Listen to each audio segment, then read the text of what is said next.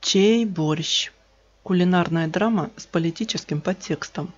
Григорий Игнатов в журналистской правде за 7 декабря 2020 года. Абсолютно бесчеловечно поступил юморист Андрей Бочаров, запостивший у себя на страничке фотографию тарелки борща с подписью «После катка отлично заходит русский борщ, ведь не мог он не знать, к чему это приведет».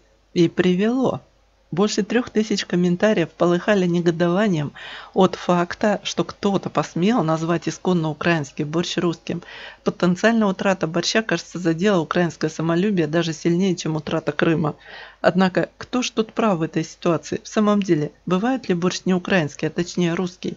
С точки зрения очень короткой исторической памяти вроде бы нет. Борщ прочно ассоциируется с украинской кухней, равно как и галушки, сало и самогон-первак. С другой стороны, даже самый беглый взгляд на кухни прочих народов показывает, что сало любят и немцы, и поляки, и прочие европейцы, что галушки умеют готовить на Кавказе, а про самогон и говорить нечего. Ничего уникального в нем нет.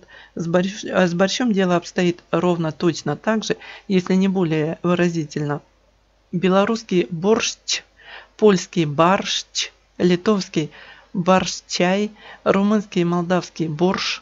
Как видим, география блюда не просто идентичного по рецепту, а и совпадающего по названию очень широка. Везде им обозначается суп красного цвета со свеклой.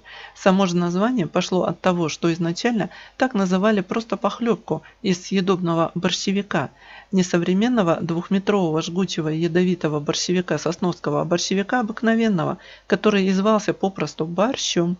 Рецепт борща именно под таким названием встречается уже в первой российской поваренной книге XVIII века, поваренной записки Сергея Друковцева, вышедшей в Петербурге в 1779 году. Возьми коренья петрушки, пастернак – селерею, лук, морковь, репу, свеклу, капусту свежую, всего по равной доле.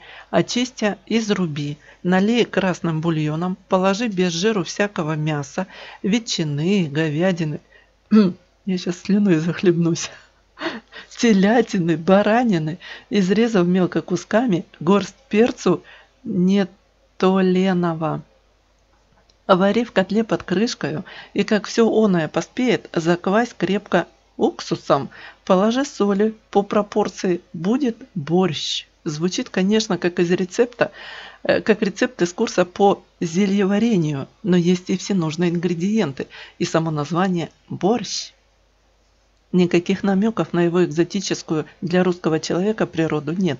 Да и предполагать, что автор пишет о каком-то неизвестном тогдашнем поварам блюде, тоже нелогично. В короткую книжицу попали рецепты блюд распространенных, любимых и востребованных. А значит, уже в 18 веке в России охотно ели борщ и умели его готовить без всяких малороссийских подсказок в более поздних российских кулинарных изданиях и в самом деле есть рецепты украинского или малороссийского борща. Но, собственно, что это доказывает?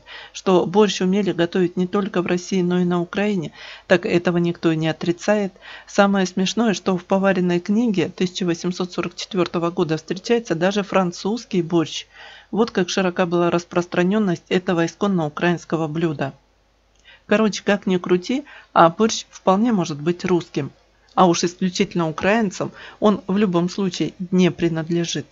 В чем же тогда причина такой болезненной реакции жителей соседней страны по поводу чужих кулинарных мнений? Их несколько.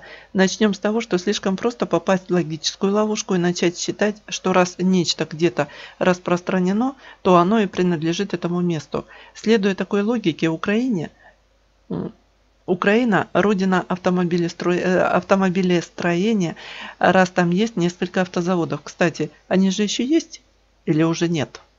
Далее, не в первый раз соседним странам вступают в споры из-за популярных блюд. Армяне и азербайджанцы не могут поделить лаваш, арабы и израильтяне – хумус, а кимчи вообще каждый азиат считает, э, извините, кимчи э, – блюдо из э, картошки – мелко нарезанной. А кимчи вообще каждый азиат считает собственностью только своей страны. И, наконец, психологические комплексы. В ситуации, когда идеологией современного украинского государства стало всеобъемлющее соперничество с Россией, особо озабоченные счетом в этом матче не собираются отдавать ни очка противнику. В середине ноября в турецкой Википедии разразился похожий скандальчик. Жена украинского посла обнаружила, что, о ужас, в турецкой Вики борщ назван русским блюдом. С большой помпой она отчиталась, что ей помогли сделать правку и исправить такую кошмарную несправедливость, представляющую собой сознательную информационную пропаганду, направленную против нас. Украинский борщ спасен от российской оккупации. Подытоживая. Подобное бурление выглядит, конечно, очень жалко. Кажется, кулинария – это последний рубеж обороны, где украинцы еще могут в чем-то посоперничать с Россией. Чей борщ – кулинарная драма с политическим подтекстом.